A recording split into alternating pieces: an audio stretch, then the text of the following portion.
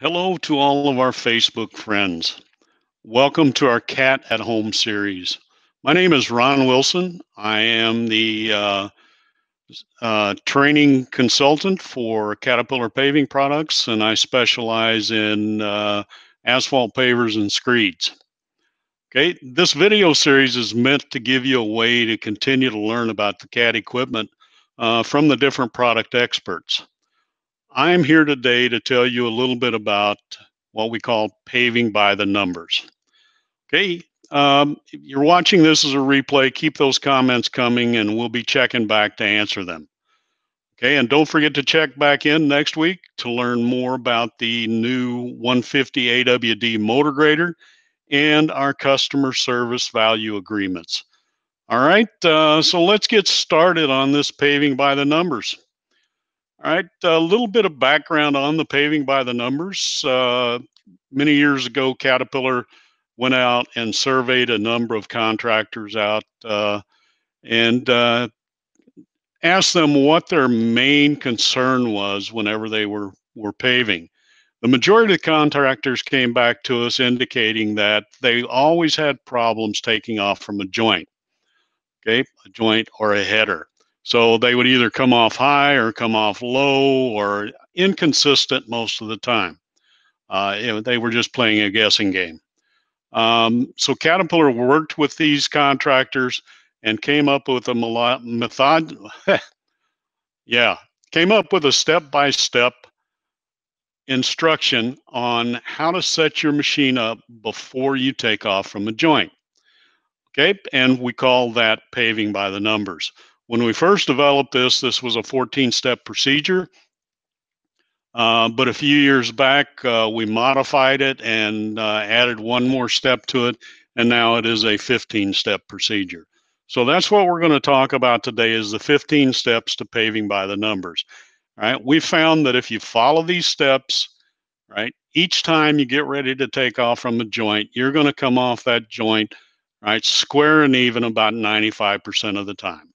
Okay, not going to tell you 100% of the time because there's always that human factor involved there. So, okay, so let's get started here. We'll talk about our paving by the numbers. First step, always heat the screed.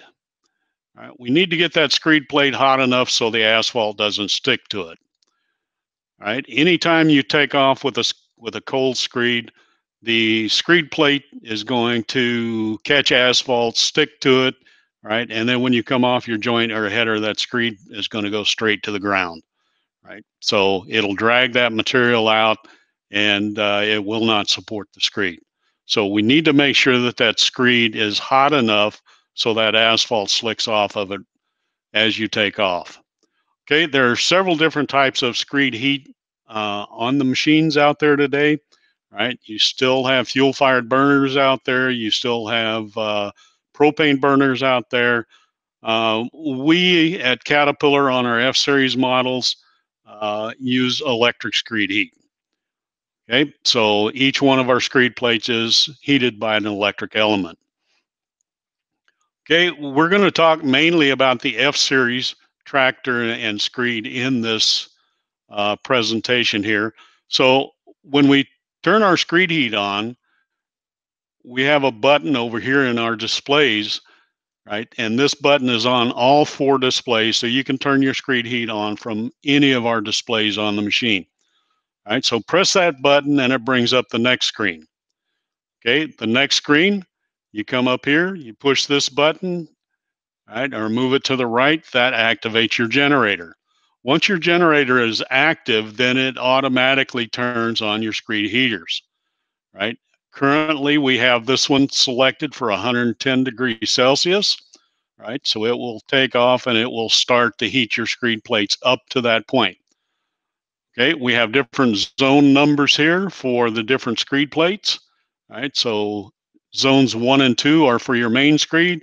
Zone three and four are for your extender screeds. Okay, anytime you add screed extensions onto here, they will automatically populate with a different zone number. Okay, if we want to change our heating option, we push this button right here. It brings up our temperature. All right, we got three different selections of temperature. We have 230 degrees Fahrenheit, we have 266 degrees Fahrenheit, and we have 320 degrees. Choose the temperature that fits your job the best, right? Select it, make sure there's a check mark in it, and then select OK, and then go back to your home screen. Okay, once you get back to your home screen, if you want to look at the actual temperature of your screed plates, right? We tapped on the right-hand zone, okay, and that brings up our full right-hand zone here. Okay, so zone two is 63 degrees C, zone four is 65 degrees C, and uh, zone 12 shows green already, right? You'll see three different colors right? Whenever you're heating the screed, you'll see black in the top photo, gray in this one, and then green in the right-hand photo there indicates that you are up to temperature now, right? Your end gates here will show up as uh, green all the time as there's no uh, temperature sensor in your end gates.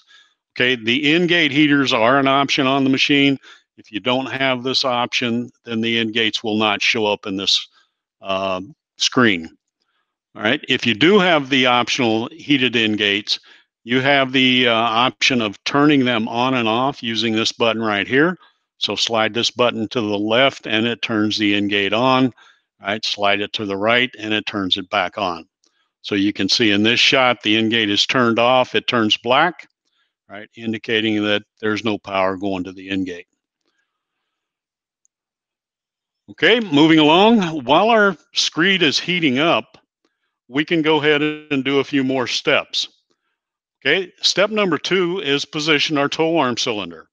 Now, depending on the paver you have, your tow arm cylinder, right, will be positioned in different positions, right? Uh, because we go through the Caterpillar history and our B series pavers, our D series pavers, our E series pavers, all the tow point settings were different between all of those pavers. Okay, but on the F series paver, right, we're going to talk about this. If you are paving zero to three inches thick, zero on the scale is where you want to be. Okay, you're going to position both sides the same way. If you're paving three inches or more, increase the tow arm position one inch per inch of mat depth increase. So if I'm paving four inches thick, I want to move my tow point one inch above the zero mark.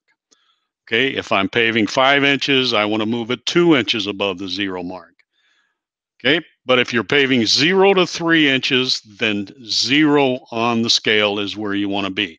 All right, this provides us with the best line of pull for our tow arms and screeds. Okay, if we want to go deep depth paving, if we're paving anywhere from 7 to 12 inches, you're going to need to change the bolt holes on the drop arm. Drop them to the lower bolt section. Right, that gives you a little extra up movement so you can get to that 12 inches thick. Okay, not too many times you're going to be paving 12 inches of asphalt intentionally, um, but you may get into cement treated base or roller compacted concrete that will cause you to have to move these. Okay, so now step three, we're going to set our paving width. So according to our job specs, right, whatever they happen to be, whether they're 12 foot, 14 foot, uh, 16 foot, whatever they happen to be, then you're going to try to adjust your screed extensions equally on both sides to achieve that width. Okay, we like to keep that screed balanced on both sides. So it's not trying to pull the machine one way or the other, right? You can overload the machine one way and it causes it to pull to that side. Right? so whenever possible, make sure that you have equal extension on both sides. We understand it's not always possible to do that, but whenever you can, right, that's what we recommend that you do. Okay, step four, is set your main screed crown per the job specs. Now, all of our screeds have the capability of being uh, rooftop crown or inverted crown or positive and negative crown, if you will. Okay, so whatever your specs call for, whether it's flat, whether it's 2% positive or 1% negative, then uh, go ahead and set your crown at this point.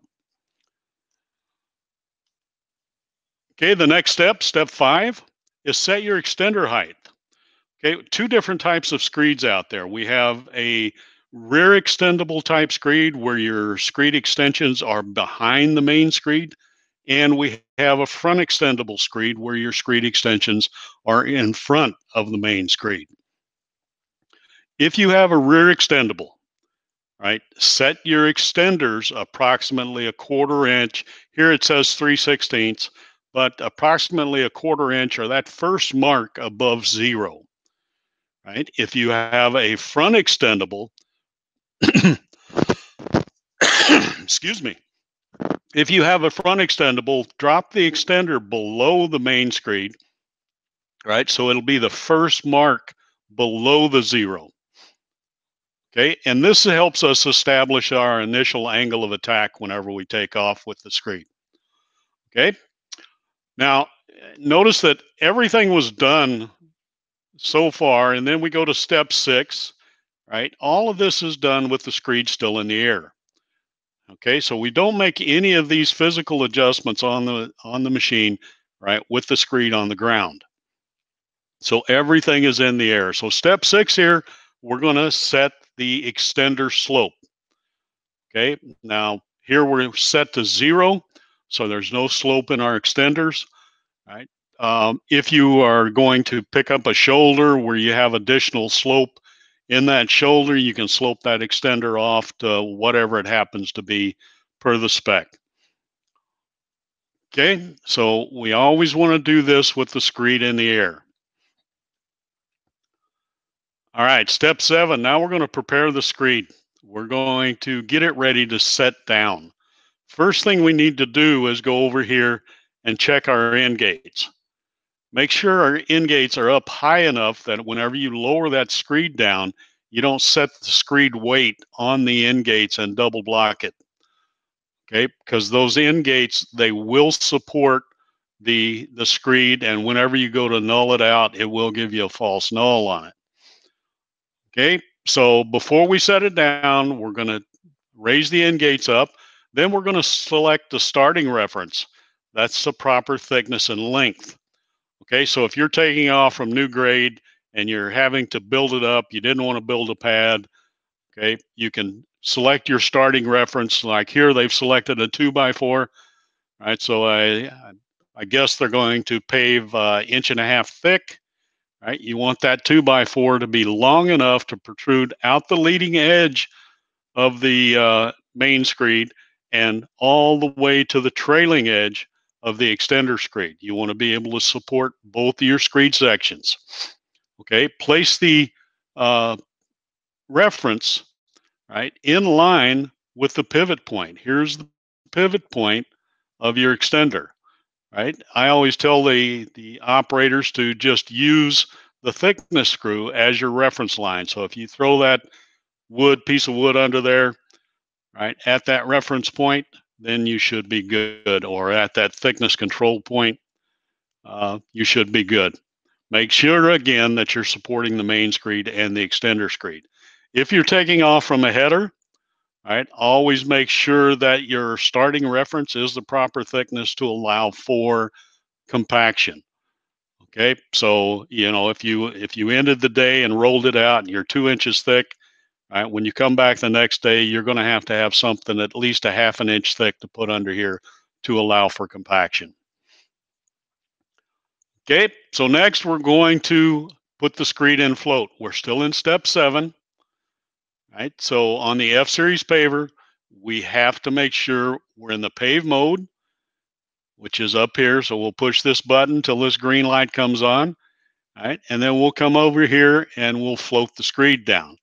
Okay, make sure this light is illuminated. Right, the screed will float to the ground. Okay, once the screed is on the ground or on your reference points, Now we want to move the machine forward to remove the slack from the tow point. Okay, you can see there's a little bit of slack in this tow point here. There's a slot right here. And when you set the screed down, that pin will be in the back half of that slot most of the time. So you need to pull the machine forward to remove that slack in the pin. Whenever you do move that machine forward, you will actually see that screed roll over just a little bit as you pull forward. Okay, now we're going to move on to step eight. Step eight is what we call null the screed.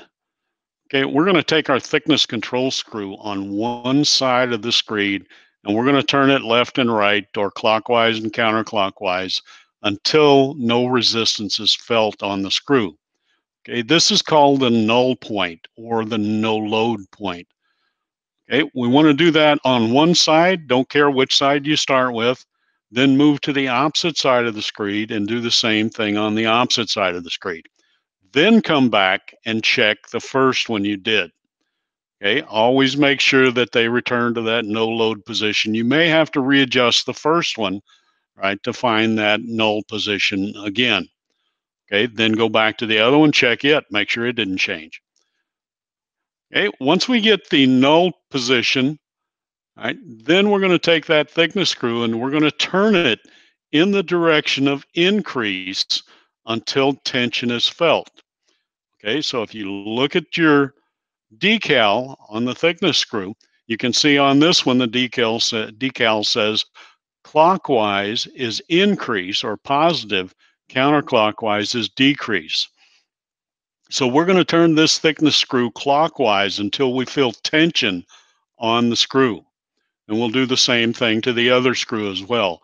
Now, keep in mind that we do offer thickness screws that go both directions.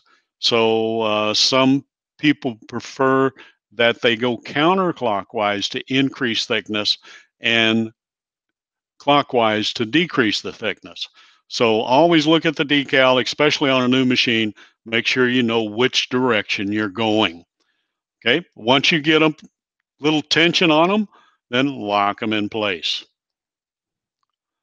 Okay, this video is going to show you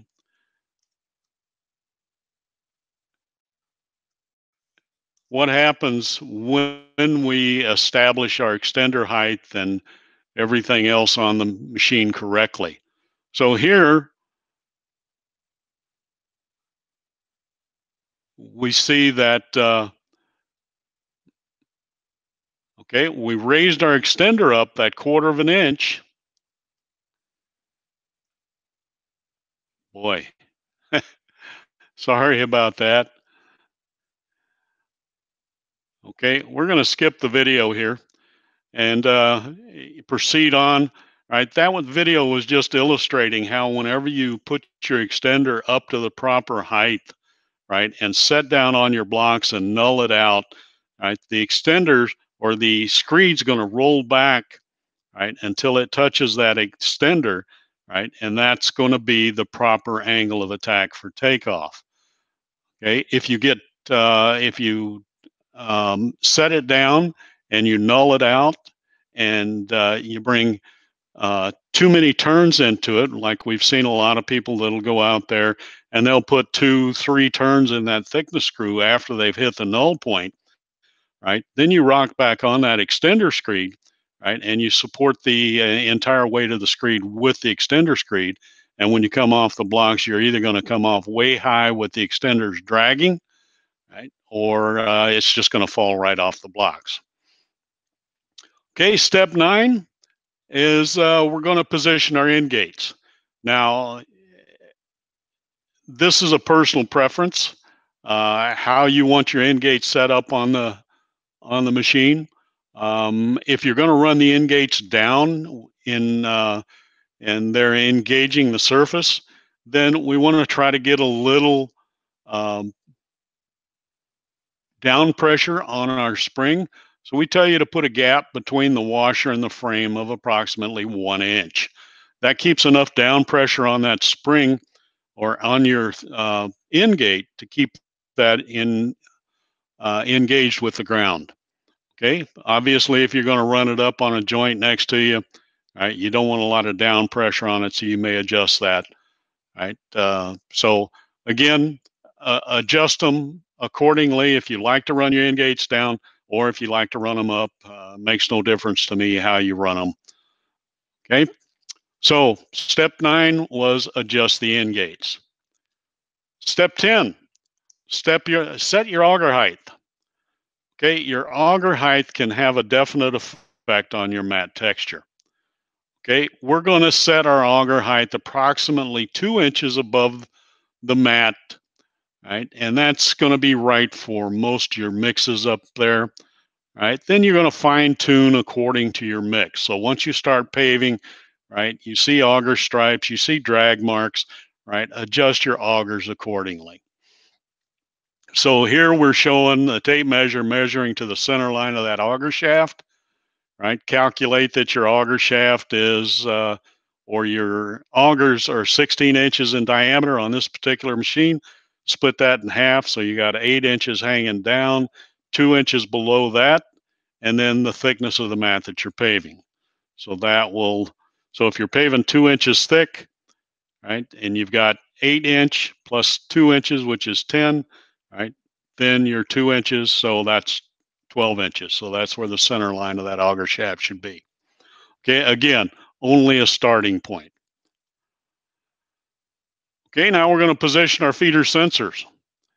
All right, pull that feeder sensor out. This is the old mechanical style sensor. We don't see a lot of these in the field anymore, but we still see them. Okay, raise that paddle arm out to a 45 degree angle. Position the paddle arm to approximately 18 inches outboard of your last auger segment. So you can see we're measuring off the last auger segment there, pull it out 45 degrees, and it should be approximately 18 inches. Sonic feeder sensors. All right, we're going to position that sonic feeder sensor till it's perpendicular to the live material flow. Okay, so we're going to have it shooting down on this live active material. We're going to position the face of this sonic sensor approximately 18 in inches away from the material. Okay, always target that moving material. Now, we want to draw an imaginary line from our main frame, right, back to about one foot in front of the uh, face of the screed here. So measure about one foot up and then draw that imaginary line over to your main frame and set it up about as high as the middle of your auger, and then aim your sonic sensor at that line. Okay, this will get you in the uh, close in the neighborhood. So um, we want to get those set again. Target the active moving material. All right, after we get that set, now we're going to move to our material feed adjustments. So we go up to our displays again on any of the four displays. All right, open that window right there. It brings up this screen. Okay, from this screen, you can adjust the percentage of your conveyors and the percentage on the augers. Okay, this is not speed, this is just the percentage. Okay, so how fast it's 40% right, of 100% and 60% of 100%. So we turn the dials till we get 40% in the window, and we turn our mix height dials until we get 60% in the window. Okay, select OK after adjusting. Now, what they're talking about there is whenever you adjust this using this scale, right? So if I hit positive and go to 65, right now this number is white. When I readjust it, that number will turn yellow, right? Before it's stored in the system, you have to come up here and press OK and turn that number back white again before it stores in the system. So keep that in mind. Always push OK after you make any changes to the scales. Okay, so we're going to select 6040 as our starting point for our feeder system. All right, again, I say starting point only. All right, now here we come to one of the the main areas where people make uh, make their mistakes is manually fill the auger chamber.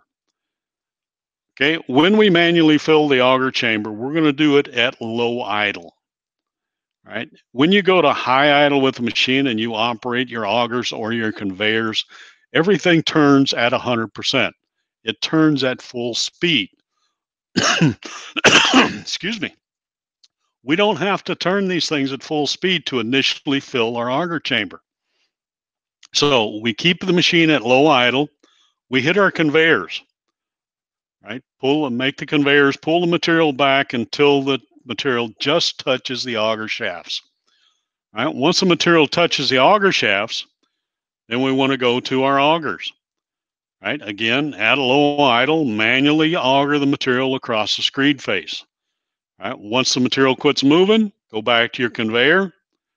Right? Convey more material out till it's touching the augers and auger that material out until you come and you establish a half an auger level do not overfill your auger chamber.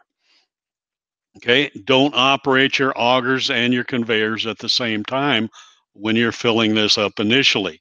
The machine is sitting still, and anytime you operate the conveyors and the augers together, you're pulling material underneath the machine as well as spreading the material out in front of the screed. Right? We don't need that material under the screed or under the machine right? It creates a larger head of material that we don't need to be pulling all day. Okay, don't try to push material out to the end gate. Use a shovel, right? Pull the material and hand fill the auger between the end gate and the auger. Okay, if you have a rear mount screed, right, don't try to fill in the area between the uh, extender screed and the main screed there. Uh, shown in red there is the no fill area. Okay, as you pull forward, the extender screed will pick up the material and it will fill all that in. All right, once we get everything full, now we're going to place our feeder system in automatic. We're still on step 13. So on the F-Series paver, we have a one button push. So we can come up here and we can press this button and it turns all four of our systems to automatic. Okay, so you have your two conveyors and your two augers that it will place in automatic for you. When you have to take the system out of automatic, just push this button again and it shuts the system back to manual. Okay, or if you don't want to use that single button push, then you can go in and push the auto button at each one of these. Okay, me, I'm lazy. I like to push just one button, get it all done, take care of it. All right, step 14. This is the step we added to our um, paving by the numbers. Step 14, we found that uh, when people were setting up their machine that uh, a lot of times they would jump ahead and try to set their grade controls up before anything else. Okay, we want you to wait till after you get the machine fully loaded, right? Material against the screed, screed's nulled out, and everything is ready to go before you set your grade and slope system up. If you don't do this, you set it up before you get all the stuff done to your screed, then you're just going to have to come back and reset it anyway. Okay, so at step 14, this is where we want you to set your accessory functions and your grade and slope is one of your accessory functions. Okay, so set your grade and slope to your specifications. All right, we won't talk a whole lot about that. Uh, we'll have save that for another talk. Uh, but we want to set our grade and slope up now. And then we have additional accessory functions within the machine. We have screed assist. We have a number of other different functions that you can set at this point. Okay, so you can read your operation and maintenance manual and uh, see what all your different accessory functions are if you don't know already. Step 15, now we're going to take off. Okay, so we're pulling off our starting reference. First thing, make sure you're in the pave mode. Okay, if you're not in the pave mode, you won't go to float. Right, which is number two over here. Make sure you're in the float mode. Okay, then select what throttle you're going to use, right? Whether you're going to use eco mode or whether you're going to go to high idle with it. Okay, then number four, right, is your speed dial. All right, once we look at our speed dial here, we can adjust the target speed of the machine. Number five up here indicates our target speed. Right now it says 193 feet per minute. Right? I don't think we're going to be paving that fast. So we would dial that back to whatever our paving speed was calculated at. Right? And normally we calculate our paving speed to the material tonnage that we're going to get. Okay, so let's say we calculated that we're going to run 40 feet a minute. Right, we dial this back till it reads 40 up here. Okay, that's going to be our target speed. Right, then we release our parking brake and we pull the trigger here. Right, pull the trigger, and now we push our propel lever gradually all the way forward. Right, once we get all the way forward, your machine will come up to the 40 feet a minute that you put in up here. Right, and your actual speed of the machine will read out in this window up here next to number five. Okay, so once you take off with it, right, established, you've established your paving speed up here at 40 feet a minute. When you bring your propel lever back to neutral, the machine will stop. Right? When you pull the trigger and push the propel lever all the way forward, you come right back to the 40 feet a minute every time. S consistent speed is very important on a paver. We want to avoid any slowdowns or speed ups anytime we can. Okay, we want to keep that speed consistent all the time. So now, once we've taken off, right, there's a few things that you have to do now. Still on step 15, we pulled off our starting reference. Right, our screed guys are going to check the material level at the outboard end of the augers. Okay, they're going to try to maintain the mix height right at half an auger. So they're taking their mix height dial, they're adjusting it up and down, and they're looking at the feed of material coming back to the extender screed over here, making sure they've got enough material without overfeeding. The guy upstairs, operator, right, he can be looking down at the center of his auger chamber and he's looking at the material coming into the center. He's also trying to maintain half an auger, but he also tries to maintain the auger speed. Right? We want to try to maintain them augers at about 20 to 40 RPMs. So in order to increase the auger speed, if they're going too slow or starting and stopping, then we're getting too much material in the chamber here. So he needs to slow the material feed down. So he'll turn his ratio dial down to adjust the feed, right? If they're going too fast, then that indicates he's not bringing enough material back. So he needs to turn the ratio ratio dial up right, until he brings enough material back to slow those augers down. Okay, but again, he's trying to maintain a half an auger and also maintain a 20 to 40 RPM range. Okay, so there we go. As paving stabilizes, check your auger speed, keep the speed between 20 and 40 RPM range definitely avoid on and off operation. On and off operation will cause you a lot of different issues. Can cause uh, your screed to drag. Can cause the uh, the texture of the material behind you to uh, show open texture. Right, can create a lot of different issues. Okay, again, as we uh, continue on with step 15, there are a lot of things going on here when we are, are looking at the mat behind us, we want to have a consistent mat all the way across. Okay, we don't want to have any separation marks in the mat from our rear mounted extenders, right? It should be uniform all the way across like shown there. Okay, if we show extender marks or our extenders are too low, right, as shown here and here, then that means that the extenders are too low. We need to just raise those up. Okay, there are controls on the uh, screed control boxes and on the uh, pendant out here on the side where you can raise and lower those extenders. Okay, anytime you adjust an extender, it is a immediate response. So you don't have to wait a few tow arm lengths for that to happen. It happens right away. So here we're going to raise that extender until the lines disappear. Okay, if our extenders are too high, they mark with the outer edge and the main screed. So now we just need to do the same thing. We just need to lower the extenders until, until that transition line disappears. Okay, once the transition line disappears, then you've got gauges in here that shows you the height of that extender. Now, if you remember back on, I think, step four, step five, we uh, adjusted the extender height. When we adjust the extender height, we came up the first notch above zero, right? That's basically a quarter inch above zero.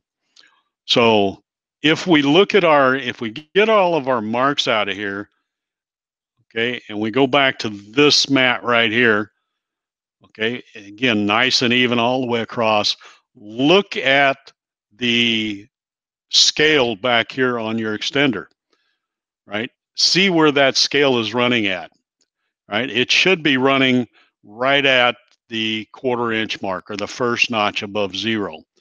If it's running at the one inch mark, right, or higher, that indicates that you're running at too high an angle of attack on the screed, right, and you need to make some different adjustments on the machine.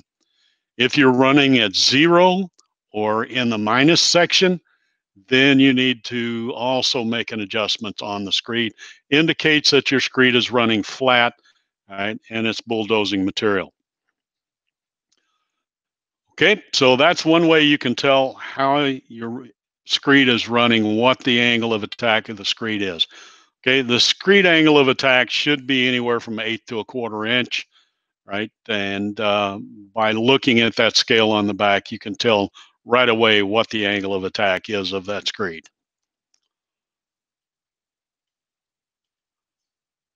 All right, while you're paving along there, keep your constant speed like we said a minute ago, right? Any speed changes, right, will cause you bumps or dips. You increase the speed of the machine, the screed has a tendency to drop. You decrease the speed of the machine, has a tendency to rise. Okay, if you speed, if you have to change your speed, right, you get more trucks or you get more material coming in, right? Adjust your feeder system if your speed change, speed has to change. All right, that concludes the paving by the numbers. I want to thank you very much for your time and attention. And again, uh, don't forget to check back in next week and they'll talk about the uh, the new 150 all-wheel drive motor grader, right, and the customer value agreements. Thank you very much again for your time and attention.